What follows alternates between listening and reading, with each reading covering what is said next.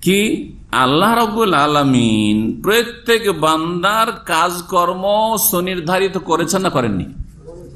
হ্যাঁ? রুজি নির্ধারিত আছে না নেই? না, আপনি আসলেন, তখন আল্লাহর ফয়সালা হলো যে হ্যাঁ এখন সৌদি আরব লোকটা আসলো। না, আগে থেকে নির্ধারণ আছে।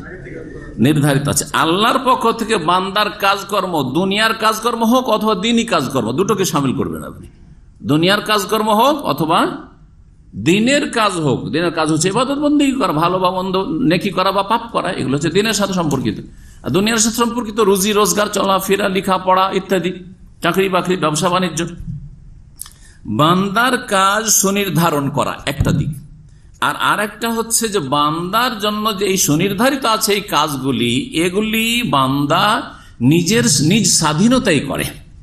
নিজে স্বাধীন হয়ে করে। স্বাধীন হয়ে করে বান্দা আর আল্লাহ তাদের কাজগুলি নির্ধারিত করে রেখেছেন। দুটোতে দ্বন্দ্ব আছে, বলছেন শেখ সাহেল ফাউজান না, দুটোতে দ্বন্দ্ব নেই। কে কথা বলতে পারেন না। যে বান্দা নিজের স্বাধীনতার সাথে কাজগুলি করে, স্বাধীনভাবে কাজকর্ম করে, আবার নির্ধারণ কি করে আছে? আর যদি নির্ধারণ থাকল, তাহলে স্বাধীনতা কোথায় থাকল?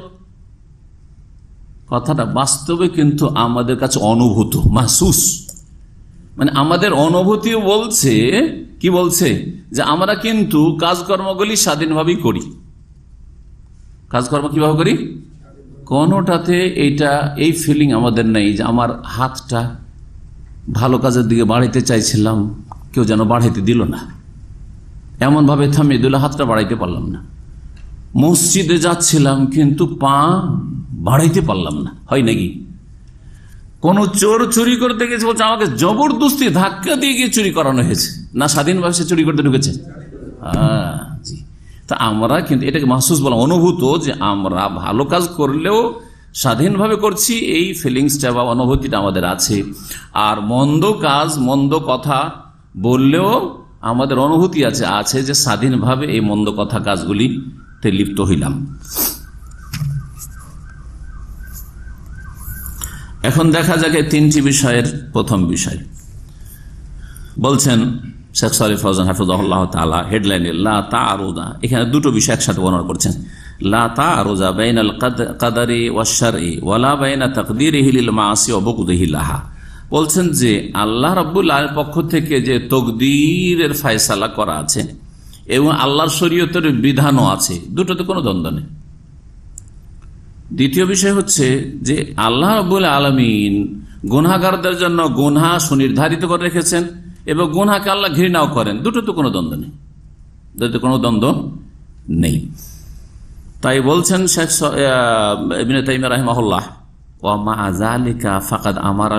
বেতাআতিহি ওয়া ওয়া আন মাসিয়াতিহি ওয়াল ওয়া ইয়ারদা আনিল লাযিনা আমানু ওয়া আমিলুস সালিহাতি ওয়া লা ইউহিব্বুল কাফিরিন ওয়া লা ইয়ারদা আনিল কওমিল ফাসিকিন ওয়া লা ইয়ামুরু বিল ফাহশাই ওয়া লা ইয়ারদা লি ইবাদিহিল কুফর ওয়া লা ফাসাদ এই সবগুলি কথা কোরআনে কারীমে বিভিন্ন আয়াত থেকে নেওয়া হয়েছে।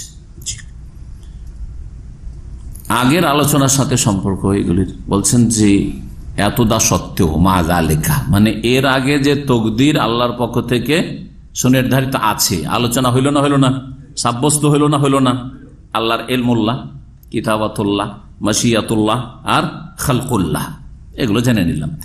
এতদা সত্ত্বে এগুলো সত্ত্বেও আল্লাহ রব্বুল আলমিন ফাকাত আমার আল এবাদা বান্দাদেরকে নির্দেশ দিয়েছেন বেতাতেহি যে তারা যেন আল্লাহর আনুগত্য করে, আল্লাহকে মেনে চলে। অতাতে রসুলহি, এবং তার রসুলগণকে মেনে চলে। মাসিয়াতি, এবং আল্লাহর নাফরমানি বিরুদ্ধাচরণ করতে তাদেরকে বারণ করেছেন, নিষেধ করেছেন। আল্লাহ ফয়সালাও করে রেখেছেন, লিখেও রেখেছেন হ্যাঁ। আল্লাহ সৃষ্টিও করেন, আল্লাহর ইচ্ছা মোতাবেক হয়, আর তার সাথে সাথে আল্লাহ আবার এই ভালো কাজের কি করেছেন? আল্লাহকে মানো, রসুলকে মানো, আর এবং আল্লাহ রসুলের নাফারমানি করিও না, বরং সতর্ক সাবধান করেছেন। অমাইয়া আসিল্লাহ রাসুল ফাকাদ্দাল্লাহ দলালম মবিনা।